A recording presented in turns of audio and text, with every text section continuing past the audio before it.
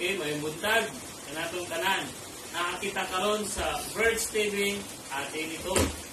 So karon adlaw ng Pasko ang adlaw sa paghinatagay. So among buhaton sa among pamilya ka- sa karong pandemya muhatag mi o mga ginagmay paklibay para sa mga ginikanan. So kani siya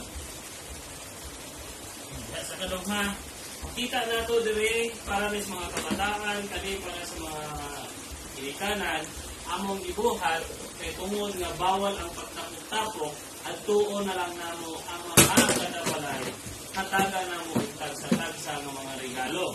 So makita ninyo na atag diri daghan ang mga regalo para sa balay-balay. Gawal ka ang anak.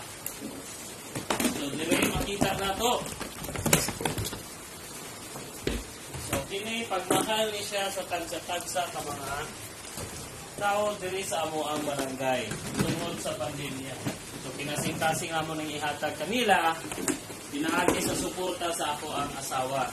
So daghan kayong salamat o Merry Christmas from Family Patria to yours.